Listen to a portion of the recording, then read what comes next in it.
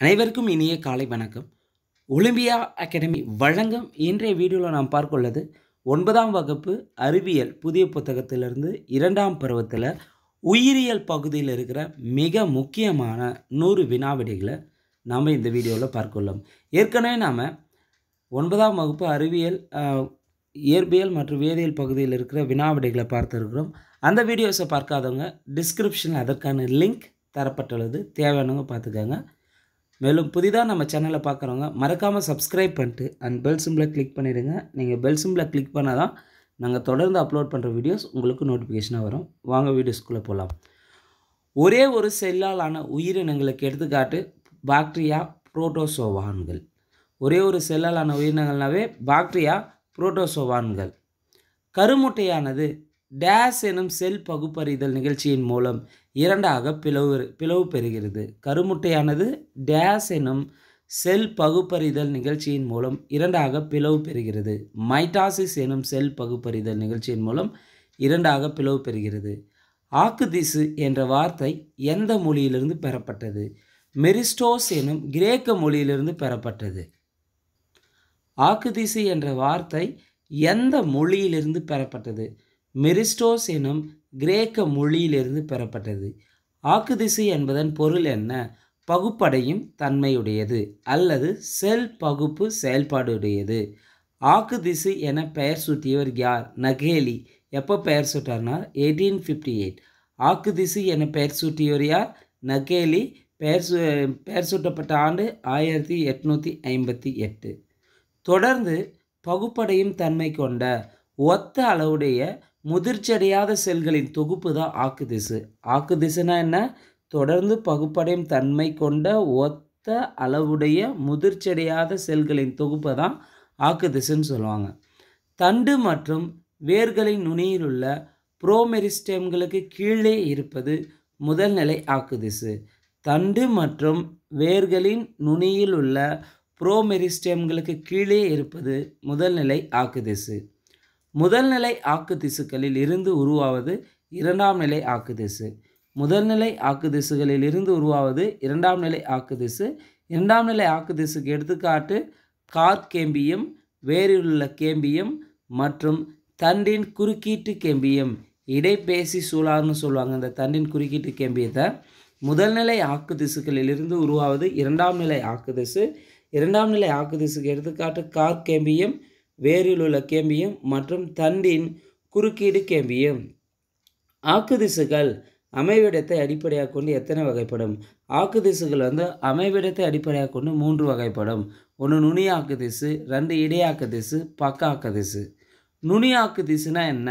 நுனியாக்கு திசு வளரும் வேர் மற்றும் தண்டின் நுனிகளில் காணப்படுவது தான் நுனியாக்கு திசு தா வளரும் வேர் மற்றும் தண்டின் நுனிகளில் காணப்படுகிறது.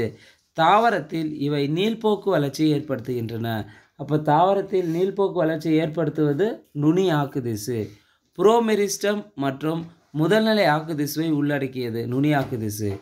நுனி ஆக்குதிசு வளரும் வேர் மற்றும் தண்டின் நுனிகளில் காணப்படுகின்றன.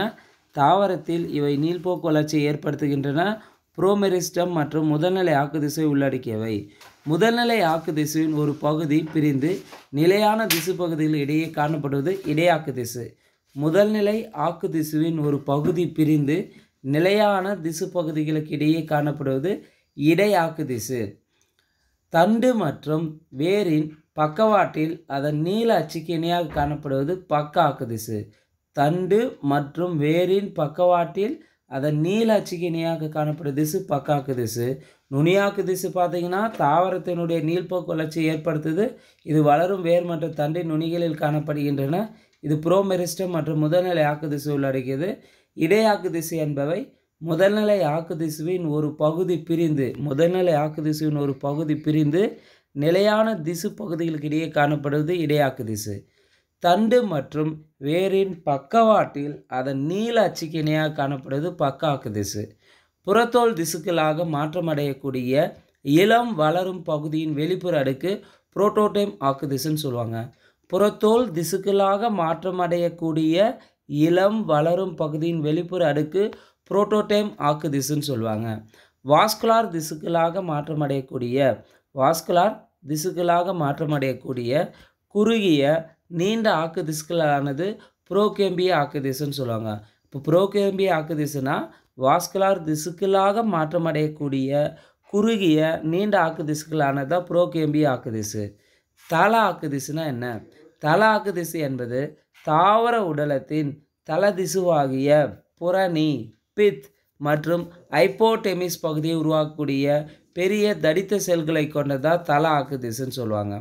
திரளாக்கு திசை என்பது செல்கள் செல் பகுப்பு அனைத்து கோணங்களிலும் நடைபெற்று செல் பகுப்பு அனைத்து கோணங்களிலும் நடைபெற்று முடிவில் அளவை அதிகரிக்கிறது. தாவரத்தண்டின் புறணி மற்றும் பித் பகுதியில் காணப்படுவதா திரளாக்கு திசு. இப்போ தாவரத்தண்டினுடைய புறணி மற்றும் பித் பகுதியில் காணப்படும் ஆக்கு திசு திரளாக்கு திசு. செல் பகுப்பு ஏதேனும் ஒரே ஒரு தளத்தில் மட்டுமே நடைபெறுகிறது. இது வரியாக்கு திசுன்னு சொல்லுவாங்க. அப்போ வரியாக்கு திசை என்பது செல் பகுப்பு ஏதேனும் ஒரே ஒரு தளத்தில் மட்டுமே நடைபெறுவது தான் வரியாக்கு திசைன்னு சொல்லுவாங்க. வரியாக்கு திசுக்கு எடுத்துக்காட்டு பாசிகளின் இழை அமைப்பு உருவாக்கும்.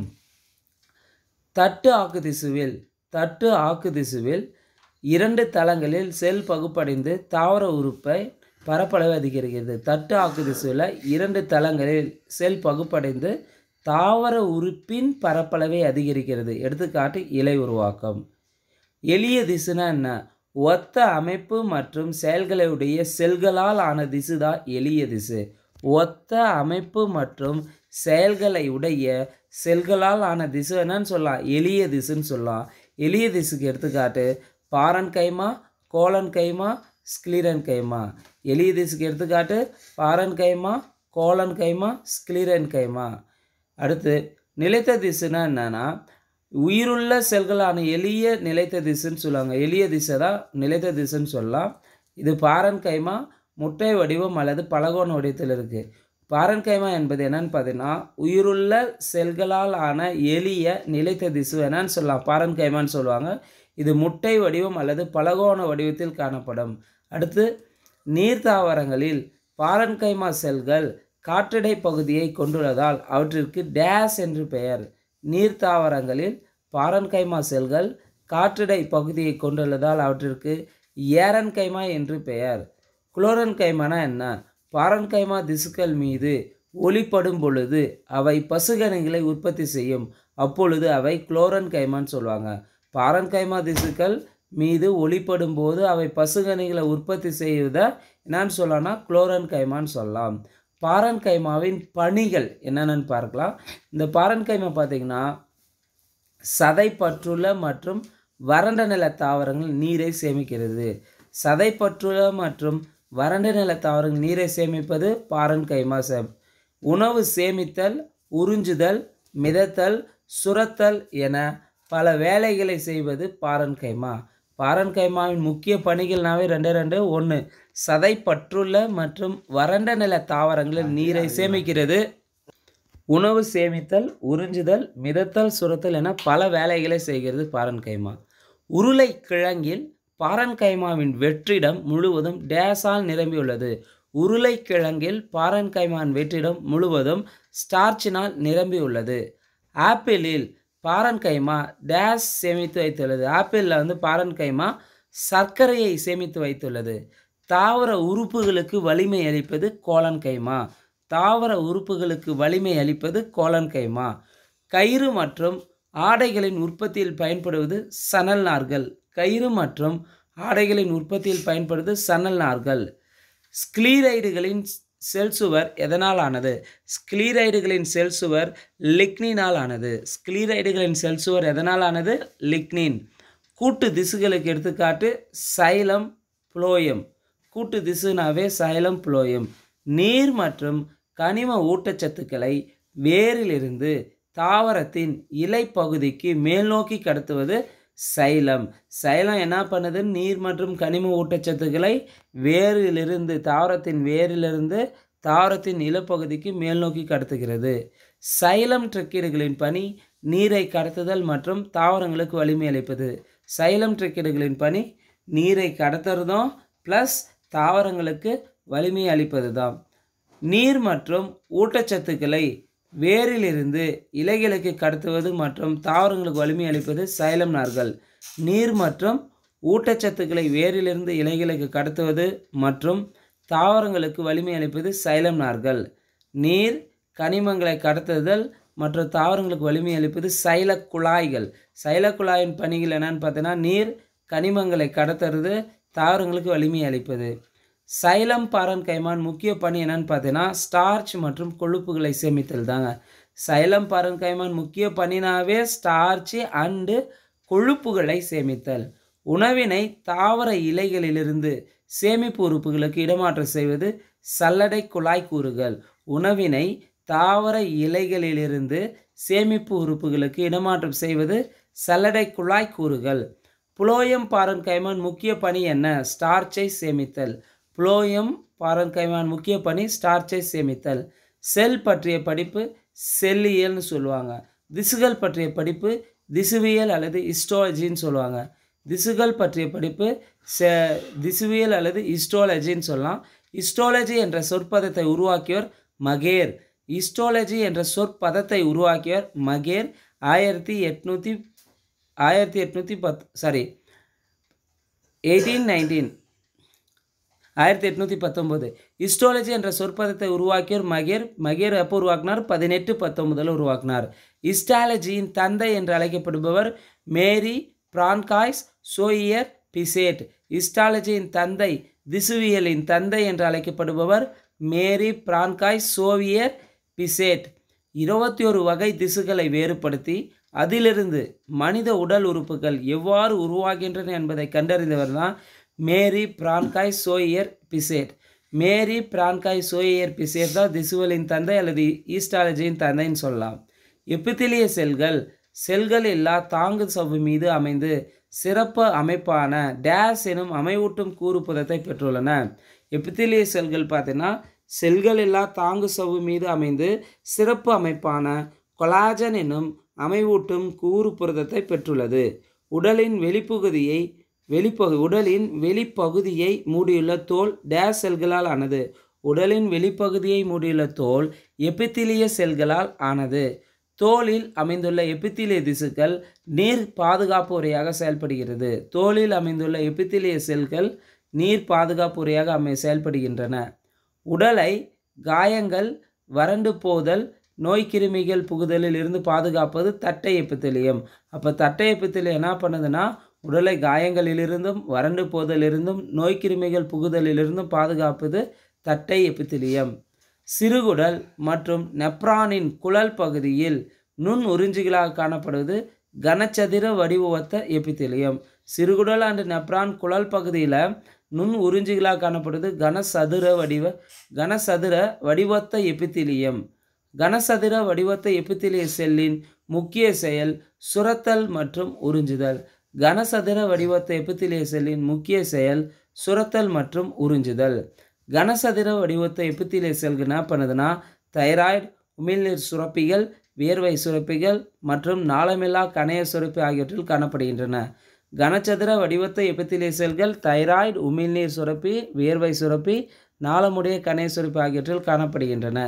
தூண் எபித்திலியம் இறப்பை பித்தப்பை பித்த நாளம் சிறுகுடல் பெருங்குடல் அண்டக்குழல் மற்றும் கோழைச்சவ்விலும் காணப்படுகிறது. தூண் எபித்திலியம் பார்த்தீங்கன்னா இறப்பை பித்தப்பை பித்த நாளம் சிறுகுடல் பெருங்குடல் அண்டக்குழல் மற்றும் கோழை சவ்விலும் காணப்படுகிறது. இதன் முக்கிய செயல் தூண் எப்பித்திலியத்தின் முக்கிய செயல் சுரத்தல் மற்றும் உறிஞ்சுதல். அடுத்து குறு இலை எப்பித்திலியம் குறு இலை எப்பித்திலியம் என்னன்னு பண்ணுதுன்னா சுவாச குழாய் சுவாசப்பாதை நுண்குழல்கள் சிறுநீரக குழல்கள் மற்றும் அண்ட குழல்களில் காணப்படுகின்றன.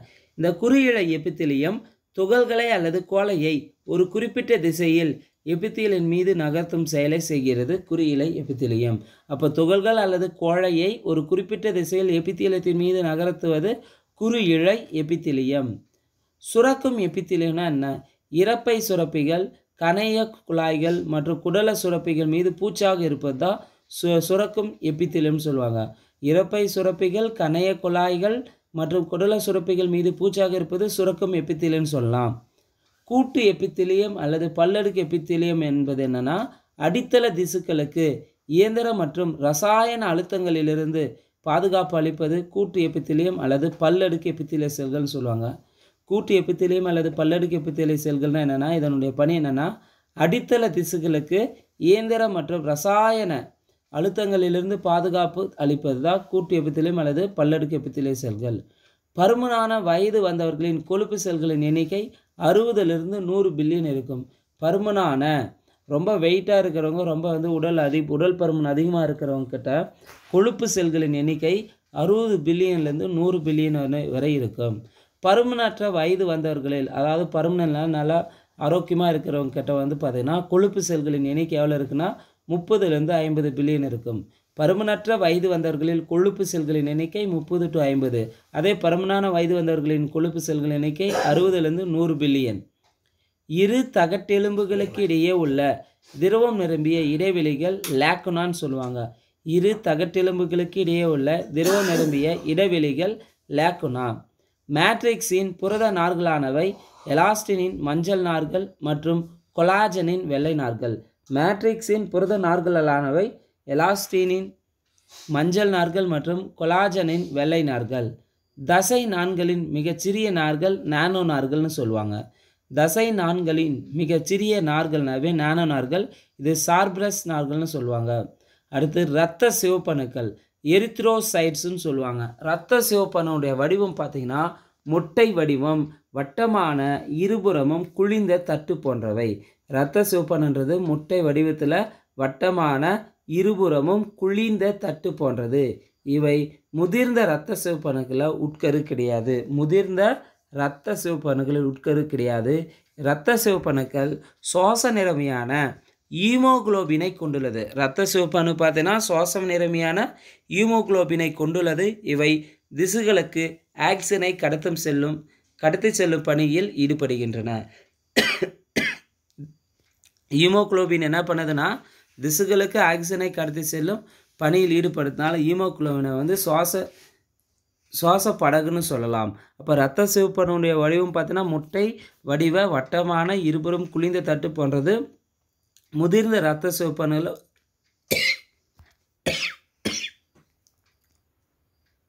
முதிர்ந்த இரத்த சிவப்பு சிவப்பணுக்களில் உட்கரு கிடையாது. முதிர்ந்த இரத்த சிவப்பணுக்களில் உட்கரு கிடையாது. இது சுவாச நிறமையான ஈமோகுளோபினை கொண்டுள்ளது. இவை திசுகளுக்கு ஆக்சிஜனை கடத்தும் செல்லும் பணியில் ஈடுபடுகின்றன. அடுத்து வெள்ளை அணுக்கள். வெள்ளை அணுக்களுக்கு இன்னொரு பேர் லியூகோசைட்டுகள்னு சொல்லுவாங்க. வெள்ளையணுக்கள் எப்படி இருக்குன்னா அளவில் பெரியதாக இருக்கும் தெளிவான உட்கருவை கொண்டதாக இருக்கும் நிறம் அற்றவையாக காணப்படும் அமீபா போன்று நகரும் தன்மை கொண்டவை. உடலின் பாதுகாப்பு பணியில் முக்கிய பங்கு வகிக்கின்றன.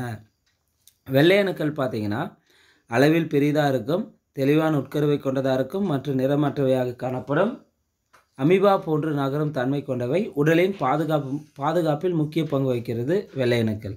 வெள்ளையணுக்கள் இரண்டு வகைப்படும். ஒன்று கிரானோலோசைட்ஸ் ரெண்டு ஏகிரானோலோசைட்ஸ் இரத்த தட்டுக்கள் த்ரம்போசைட்ஸ்னு சொல்லுவாங்க. இது இரத்த தட்டு பார்த்தோன்னா மிக சிறிய உட்கரு அற்ற மெகா கேரியோசைட் எனப்படும். பெ- மெகா கேரியோசைட் எனப்படும் பெரிய எலும்பு மஜ்ஜையின் எளிதில் உடையும் துண்டுகளாகும். இப்போ இரத்த தட்டுன்றது மிக சிறிய உட்கரு மெகா கேரியோசைட் எனப்படும் பெரிய எலும்பு மஜ்ஜையின் எளிதில் உடையும் துண்டுகளாகும். இவை இரத்தம் உறைதலில் முக்கிய பங்கு வகிக்கின்றன. இரத்த தட்டுகள் இரத்தம் உறைதல் முக்கிய பங்கு வகிப்பது இரத்த தட்டுகள் நிணநீர். நிணநீர்னால் என்ன பண்ணுதுன்னு பார்க்கலாம். இவை இரத்த தந்துகிகளிலிருந்து வடிகட்டப்பட்ட இது ஒரு நீர் நிறமற்ற திரவம். நிணநீர் என்பது இரத்த தந்துகளிலிருந்து வடிக்கப்பட்ட ஒரு நிறமற்ற திரவம்னு சொல்லலாம். இவை பிளாஸ்மா மற்றும் இரத்த வெள்ளை அணுக்களை கொண்டுள்ளது. இரத்தத்திற்கும் திசு தா திசு திருவங்களுக்கும் இடையே பொருட்களை பரிமாற்றிக்கொள்ள வந்து நிணநீர் உதவி புரிய நிணநீர் உதவி புரிகிறது. அப்போ ரத்தத்திற்கும் திசு திரவங்களுக்கும் இடையே பொருட்களை பரிமாற்றிக்கொள்ள உதவுவது நிணநீர் தசையின் முக்கிய வகைகள் எத்தனை? தசையின் முக்கிய வகைகள் மூணு. வரி தசை வரியற்ற தசை இதய தசைன்னு சொல்லலாம். மூட்டு தசைகளில் காணப்படும் தசை எலும்பு சட்டக தசை அல்லது வரி தசை. மூட்டு தசைகளில் காணப்படும் தசை எலும்பு சட்டக தசை அல்லது வரி தசை. மென்தசை அல்லது வரியற்ற தசைனா என்னன்னா இரத்த நாளம் இறப்பை சுரப்பிகள் சிறுகுடல் விரலிகள் மற்றும் சிறுநீர்ப்பை ஆகிய உள் உறுப்புகளின் சுவர்கள் எந்த தசையினால் ஆனதுன்னா மென் தசை அல்லது வரியற்ற தசையால் ஆனது. அப்போ ரத்த நாளம் இறப்பை சுரப்பி சிறுகுடல் விரலி சிறுநீர்ப்பை ஆகிய உள்ளுறுப்புகள் வந்து பார்த்தோன்னா மென் தசை அல்லது வரியற்ற தசைகளால் ஆனது. உடலின் மிக நீண்ட செல் எதுன்னு பார்த்தோன்னா நரம்பு செல் தாங்க. உடலின் மிக நீண்ட செல்கள்னாவே அது நரம்பு செல்கள். நரம்பு திசுவின் அமைப்பு மற்றும் செயல்பாட்டின் அடிப்படை அலகு நியூரான்கள். நரம்பு திசுவின் அமைப்பின் அடிப்படை அலகு மற்றும் செயல்பாட்டு அலகு நியூரான்கள். சைட்டானிலிருந்து உருவாகி மிக மெல்லிய கிளைகளுடன் முடிவது ஆக்சான் எனப்படும். சைட்டானிலிருந்து உருவாகி மிக மெல்லிய கிளைகளுடன் முடிவடைவது ஆக்சான் புதிய செல்கள் யாவும் ஏற்கனவே இருந்த செல்களில் இருந்தே பகுப்பின் மூலம் உருவாக்கப்பட்டவை என்று குறிப்பிட்டவர் நகேலி. எயிட்டீன் ஃபார்ட்டி சிக்ஸில் சொல்லியிருக்காரு. புதிய செல்கள் யாவும் ஏற்கனவே இருந்த செல்களிலிருந்தே பகுப்பின் மூலம் உருவாக்கப்பட்டவை என்று குறிப்பிட்டவர் நகேலி எயிட்டீன் ஃபார்ட்டி சிக்ஸில் நரம்பு செல்களில் டேஸ் இல்லாததால் அவை பகுப்படைவதில்லை. நரம்பு செல்களில் சென்ட்ரியோல்கள் இல்லாததால் அவை பகுப்படைவதில்லை. விலங்கு செல்களில் எத்தனை வகையான செல் பகுப்புகள் உள்ளன? விலங்கு செல்களில் மூன்று வகையான செல் பகுப்புகள் உள்ளன. ஒன்று ஏ மைட்டாசிஸ் நேரடி பகுப்பு. ரெண்டு மைட்டாசிஸ் மறைமுக பகுப்பு. மூன்று மியாசிஸ் குன்றல் பகுப்பு. ஸோ விலங்கு செல்கள் எத்தனை வகையான செல் பகுப்புகள் உள்ளன மூன்று வகையான செல் பகுப்புகள் உள்ளன. ஒன்று ஏ நேரடி பகுப்பு ஏ மைட்டாசிஸ் மறைமுக பகுப்பு மைட்டாசிஸ் குன்றல் பகுப்பு மியாசிஸ் ஏ மைட்டாசிஸ் நேரடி பகுப்புனா என்ன? இது ஒரு எளிய முறை செல் பகுப்புன்னு சொல்லுவாங்க. ஏ மைட்டாசிஸ் என்பது ஒரு எளிய முறைய செல் பகுப்பு நேர்முக செல் பிரிதல் என்று அழைப்பர் இதனை ஒரு செல் விலங்குகள் வயதான செல்கள் மற்றும் கருப்பை சவ்வுகளில் நிகழ்கிறது. ஏ மைட்டாசிஸ் என்றது நேரடி பகுப்புன்றது எங்கெல்லாம் நடக்குதுன்னா ஒரு செல் விலங்குகள் வயதான செல்கள் மற்றும் கருப்பை சவ்வுகளில் நிகழ்வுகிறது ஏ மைட்டாசிஸ் நிகழ்வு. இந்த நிகழ்வின் முதல் உட்கரு நீண்டு ஒரு சுருக்கத்தை அதன் மையத்தில் தோற்றுகிறது இதனைத் தொடர்ந்து சைட்டோபிளாசத்திலும் சுருக்கம் ஏற்பட்டு இரண்டு சேய் செல்கள் தோன்றுகின்றன. ஸோ ஏமைட்டாசிஸ் என்ன பண்ணுதா அதன் நிகழ்வு வந்து நேரடி பகுப்பு நிகழ்வுமா வந்து உட்கருவில் வந்து நீண்டு உட்கரு நீண்டு ஒரு சுருக்கத்தை ஏற்படுத்தும். இந்த சுருக்கமானது என்னன்னு பண்ணால் மையத்தில் தோற்றுவித்து இந்த சைட்டோபிளாசத்தில் சுருக்கம் வந்து இரண்டு சேய் செயல்களை வந்து தோற்றுவிக்கிறது. இரண்டு சேய் செல்களை தோற்றுவிக்கிறது. இதுதான் எளிய பகுப்பு அல்லது நேரடி பகுப்பு அல்லது மைட்டாசிஸ் ஏ மைட்டாசின்னு சொல்லுவாங்க. அடுத்து மைட்டாசிஸ் மறைமுக பகுப்பு. மைட்டாசிஸ் வந்து பிளம்மிங் என்பவரால் எயிட்டீன் செவன்ட்டி நைனில் முதன் முதலில் கண்டறியப்பட்டது. மைட்டாசிஸ் மறைமுக பகுப்புன்னு சொல்லுவாங்க. இது பிளம்மிங் என்பவரால் ஆயிரத்தி எட்நூற்றி எழுவத்தி ஒன்பதில் கண்டறியப்பட்டது. இந்த செல் பகுப்பில் ஒரு தாய் செல்லானது இரு ஒத்த சே செல்களாக பகுப்படுகிறது இப்போ மைட்டாசிஸ் வகுப்பில் ஒரு தாய் செல் இருக்குது இந்த தாய் செல்லானது பகுப்படைந்து இரண்டு ஒத்த செல்களாக தனித்தனியே ஒரு ஒத்த செல்களாக பகுப்படைகிறது. மைட்டாசிஸ் பகுப்புன்றது இது ஒரு சம பகுப்பு என்று அழைப்பார். ஸோ மைட்டாசிஸ் பகுப்பு மறைமுக பகுப்பு என்பது பிளமிங் என்பவரால் எயிட்டீன் செவன்டி நைனில் முதன் முதல்ல கண்டறியப்பட்டது. இந்த மைட்டாசிஸ் செல் பகுப்பில் ஒரு தாய் செல்லானது இரு ஒத்த சேய் செல்களாக பகுப்படைவது. இது ஒரு சம பகுப்பு என்றும் அழைப்பார். ஒவ்வொரு குரோமோசோமின் சென்ட்ரோமீரும் இரண்டாக பகு பகுப்படைந்து. ஒவ்வொரு குரோமோசோமின் குச்சி போன்ற வடிவத்தில் தான் காணப்படும் குரோமோசோமு. ஒவ்வொரு குரோமோசோமின் சென்ட்ரோமீரும் இரண்டாக பகுப்படைந்து அவை ஒவ்வொன்றும் குரோமேடிட்டுடன் இணைந்து காணப்படுவது தான் மெட்டாநிலை பிந்தைய நிலைன்னு சொல்லுவாங்க. ஒவ்வொரு குரோமோசோமின் சென்ட்ரோமியரும் இரண்டாக பகுப்படைந்து அவை ஒவ்வொன்றும் குரோமெரிட்டுடன் ஒன்றிணைந்து காணப்படுது. மெட்டாநிலை பிந்தையன்னு சொல்லலாம்.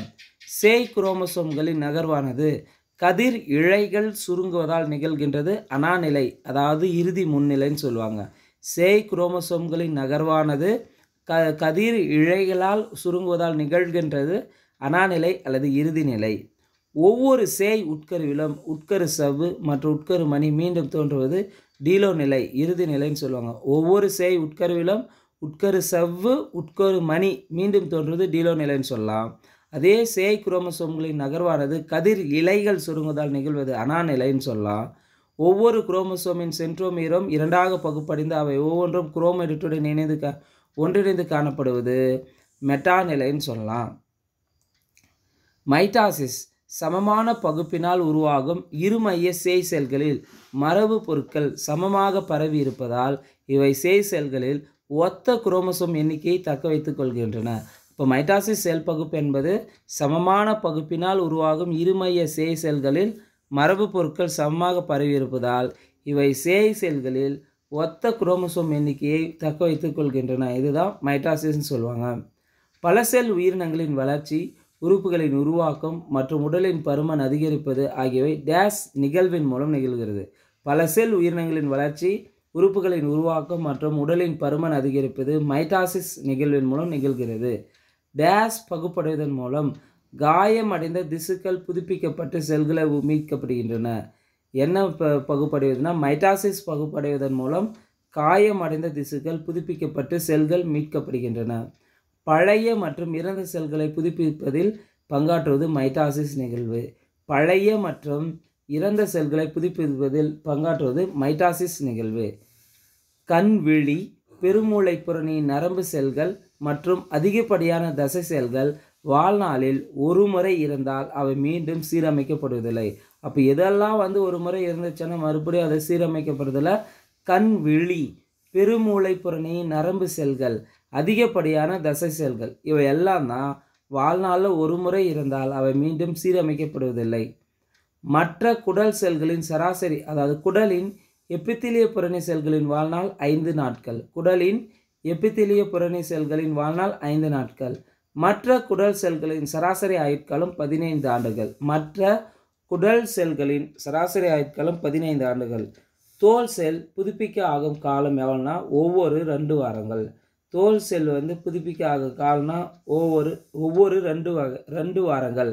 தோல் செல் புதுப்பிது பு புதுப்பிக்க ஆகும் காலம் ஒவ்வொரு ரெண்டு வருடம். அதே குடலின் எபித்திலிய புறணி செல்கள் வாழ்நாள் ஐந்து நாட்கள்.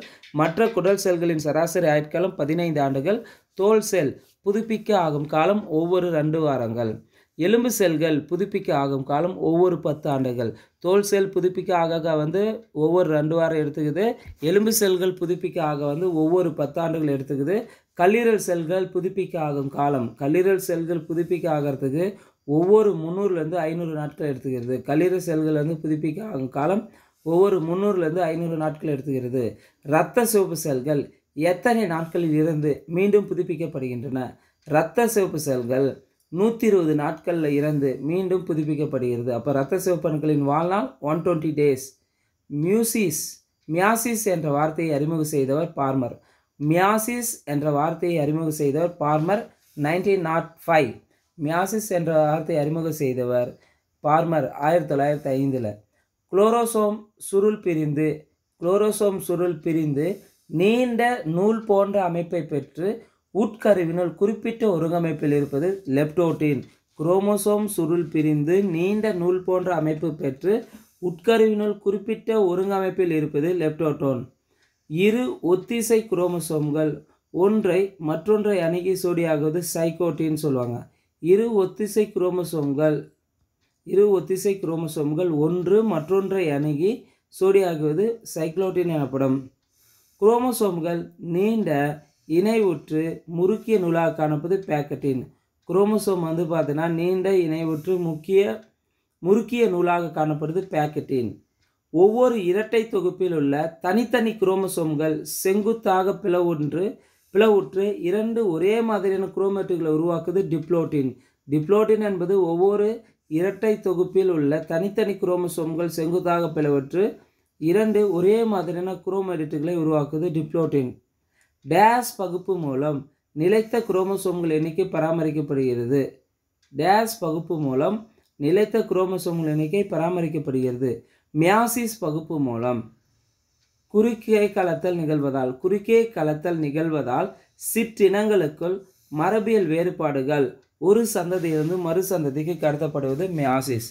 குறுக்கே கலத்தல் நிகழ்வதனால சிற்றினங்களுக்குள் மரபியல் வேறுபாடுகள் ஒரு சந்ததியிலிருந்து மறு சந்ததிக்கு கடத்தப்படுகிறத மியாசிஸ்னு சொல்லுவாங்க.